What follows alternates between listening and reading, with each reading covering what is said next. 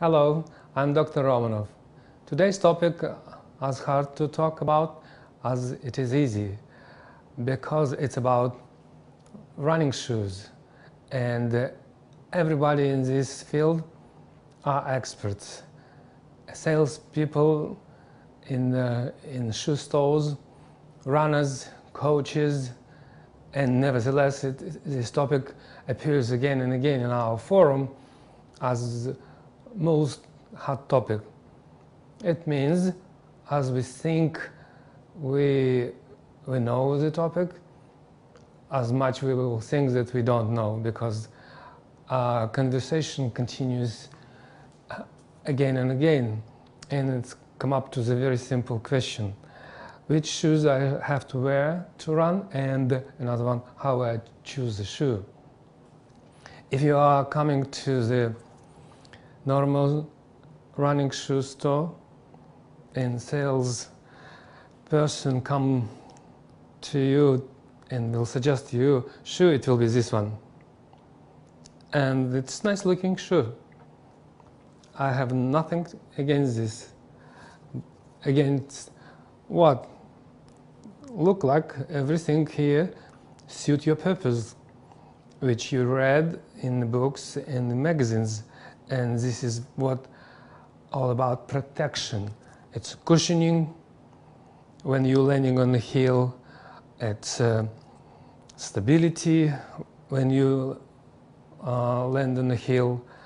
And uh, even um, motion control, which very amazed me all the time, how shoe could control your motion. But nevertheless, they proposed for you. Look these points from point of view of pose method theory of running, this is completely unnecessary to have because we never land on the hill really. More than this, when we land on the ball of the foot and heel goes down to the ground and the, your body is supposed to accumulate uh, muscle elasticity or uh, tendons elasticity effect or strain energy, this uh, thick sole or thick heel of the shoe which will eliminate your ability to accumulate this energy.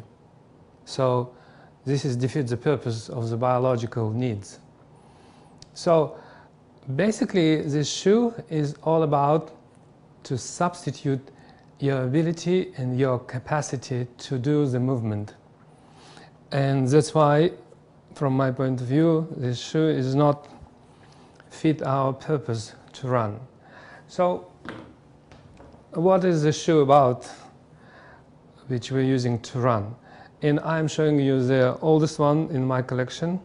It's a Nike Zoom, discontinued now. And uh, uh, these several features which I was happy about. It's still not perfect shoe, and I'm not sure it will be ever. But nevertheless, look this um, uh, wearing place on this outer sole. This is a place where I used to land all the time. And this was ob objectively developed um, most damaging place. And uh, as you see, heel is still in perfect condition because we didn't touch this place. It's still sick sole, sick heel, but much less than in previous one. I'm showing you this just for comparison. But this shoe had and has right now, I'm still running with them, light, durability, they are pretty much good, solid build up. You see um, on the surface here on the top, still nice looking, it's just dirty a little bit, uh, but it's not important for running. So this is what I like it.